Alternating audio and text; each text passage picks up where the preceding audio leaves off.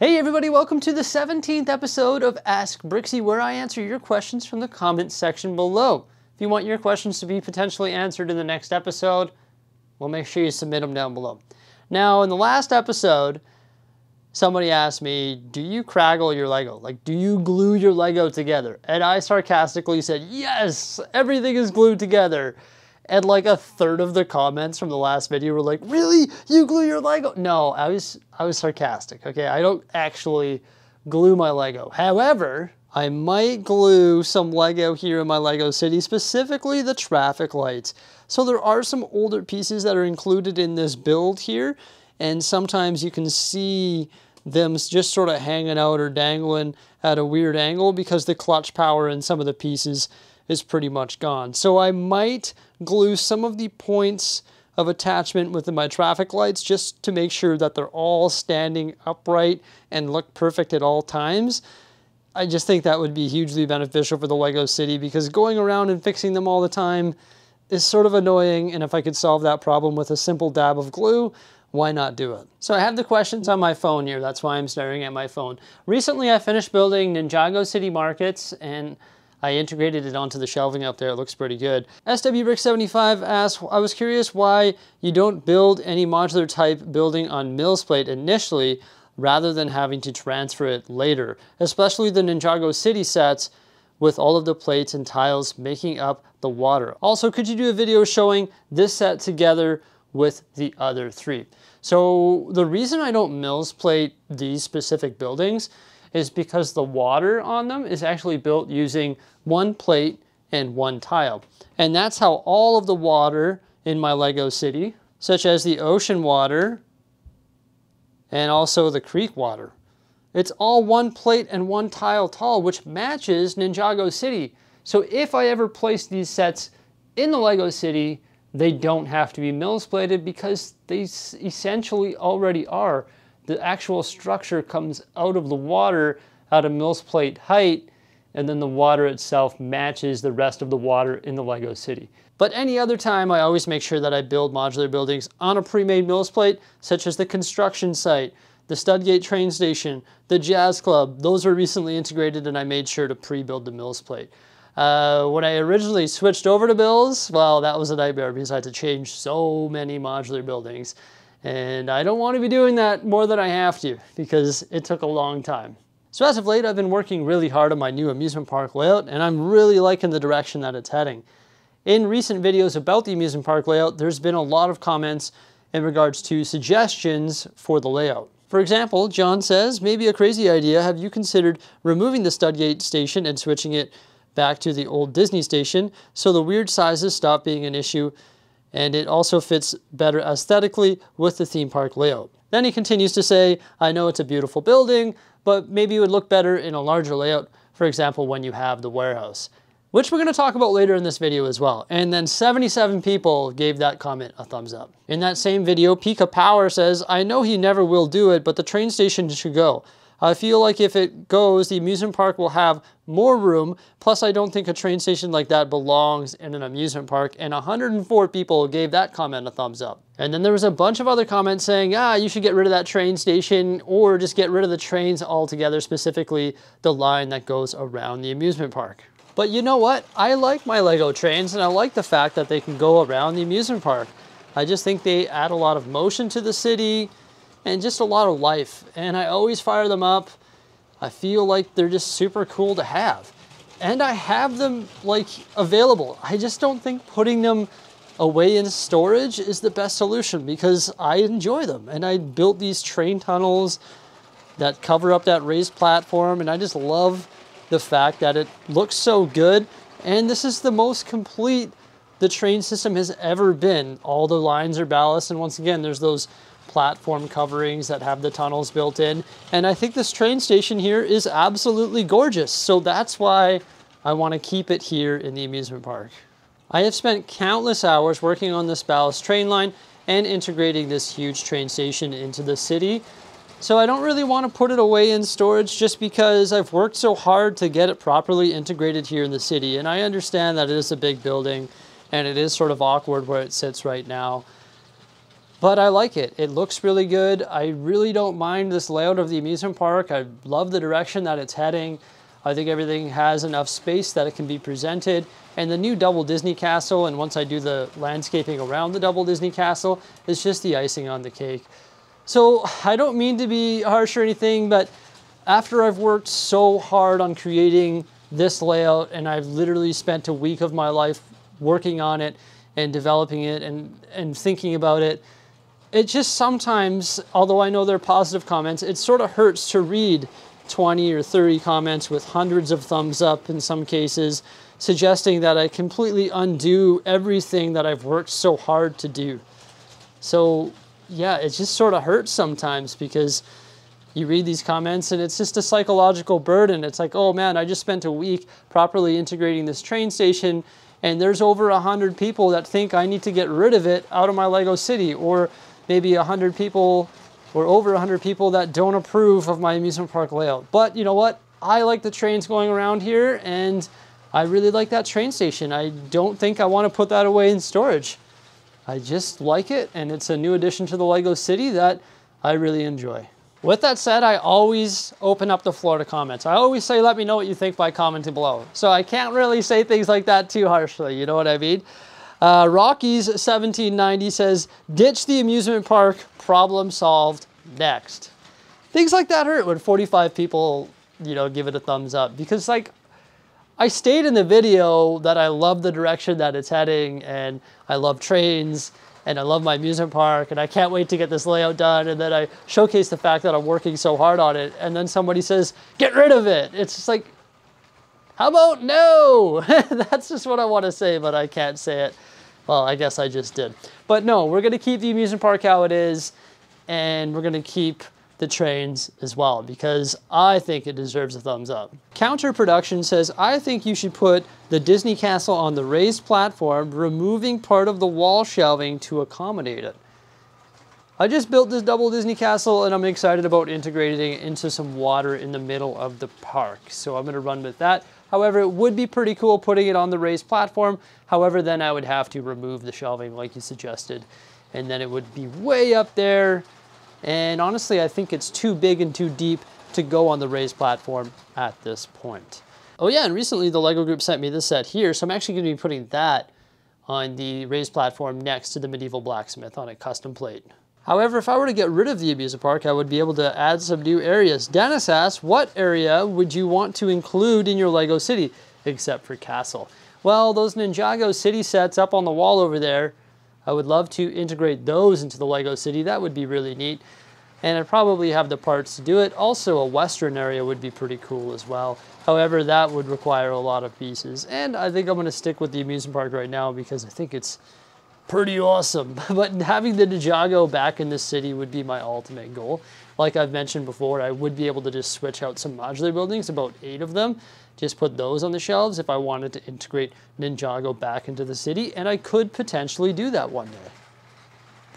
Pretty cool idea. I don't know if I'm gonna do it soon, but maybe, maybe uh, Ninjago will be back in the city.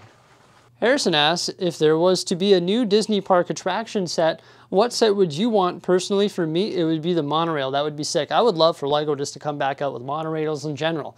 However, with that said, I've worked really hard on integrating a raised train line that looks pretty good using RC train and RC track. I didn't buy any monorails. I decided to go with that because I have so many RC trains and I wanted them, or I wanted to use them in the city. A monorail would be epic though. That's what they should do. I'm trying to think of another ride that they could do or some sort of attraction, but I can't really.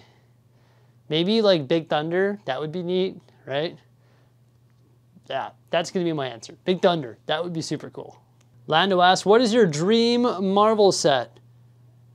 Well, they've already done a couple of them, but they didn't do them good enough, and that is, of course, the Avengers Tower. I would love for them to come out with a massive Avengers Tower, similar to what they did with the Daily Bugle. They need to come out with an impressive Avengers Tower. And if they do that, I will be removing my Avengers Tower from the LEGO City. It needs to be reworked anyway. And I'll probably use the parts from that to create the Fantastic Four Baxter building. I think that would be super cool And it was actually Tanjam that gave me that idea. I was like, yeah, I think I'll build a police station. And he's like, dude, you got to build the Baxter building. I was like, that is a great idea. And you know what? If they come out with a huge Avengers Tower, maybe I'll buy a couple of them, just like I did with the Daily Bugle, and double its size. Alexander asks, what do you think will happen when you finish your Lego city? That's a good question. I'll probably, uh, don't mark my words on this, but I'd probably look to add some lights to the modular buildings. Or what I'd like to do is start switching out some of these generic like Lego set modular buildings with custom uh, modular buildings. So start building my own. I think I've always wanted to do that, just never really got around to learning how to use a digital designing software, which would be hugely beneficial for parts ordering.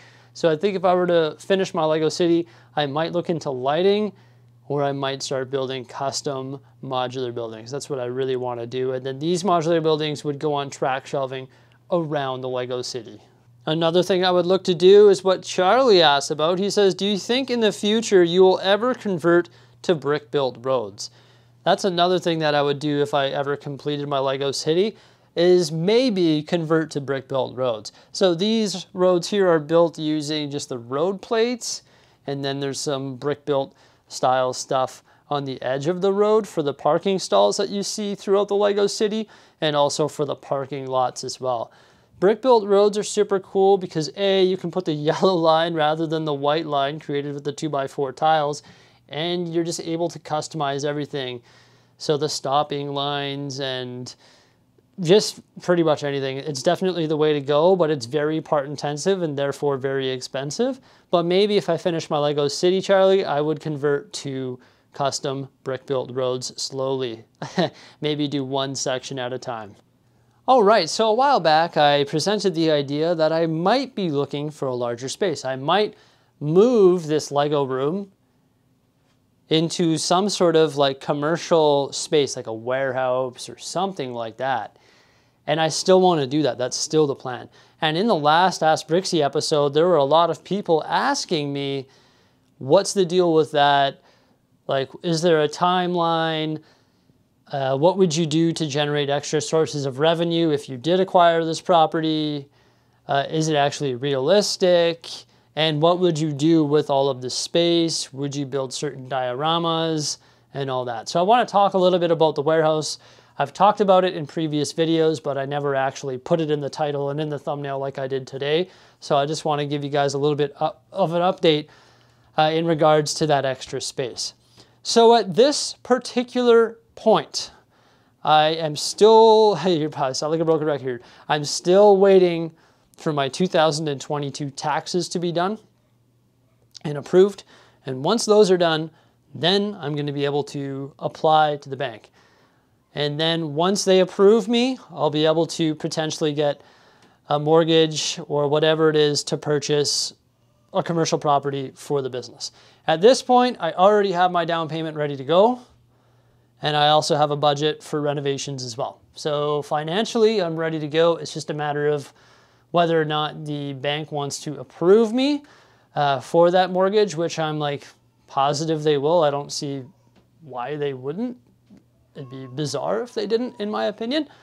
And uh, then once we get that space, of course, we're going to be working on more dioramas. I actually talked about it recently. Like I was like, oh, maybe I should get rid of some of the shelving and stuff and get rid of these Technic cars and get rid of some of these LEGO Creator Expert cars and put a table right here. And this table should become a diorama, like a Star Wars diorama. Maybe it's Hoth or Dagobah or Endor with like the trees and the bunker and the Ewoks and the AT-ST walkers and like do really neat stuff like that. And I really want to do things like that. Uh, I would also like to make dioramas for medieval. I've already sort of built a miniature medieval area up there, right? I would like to expand that. I'd like to expand my Christmas winter village. I would also like to expand maybe the airstrip and the runway, like the airport. And then of course, a more spaced out amusement park, a bigger farm, maybe a bigger zoo, well, maybe a bigger, uh, probably not beach, like that's already big enough Downtown core is already pretty big and I want to get into more custom stuff. But yeah, I would for sure be down to do different dioramas and just expand more on what we already have. You know, have like a properly integrated Ninjago area, have bigger and better mountains, have a western area, have all this different stuff. It's really just a time thing, just like getting approved, moving to the new space, building the tables for these things, acquiring the parts, coming up with the ideas, getting the time to actually build these massive things and these the, all these different ideas that I have so it's not really a project that I can just turn around and get done in a year. It's just a matter of doing things. Like it has taken me since 2015 to get to here. So this has taken me eight years. This room, all the Lego sets in it, and this city has taken me eight years. I would say that getting a warehouse and fully developing it with dioramas and everything is going to probably take as long as that. Granted, this is my full-time job now, so it's a full-time effort. But yeah, I mean, I'm I'm pretty much like ready to go. The thing is, is it's really time is of the essence because in a previous update I said, oh, I don't really want to be moving during winter, but thinking of it from a business point of view for me as a YouTube creator, honestly, the best time to do it would probably be August, September so it really depends on how fast or how long the process is of me getting approved and actually committing and purchasing a place. I don't know how long that's actually going to take, but it would be best to move in August and September because A, it's not freezing cold out, and B, we're going into the holidays. October, November, December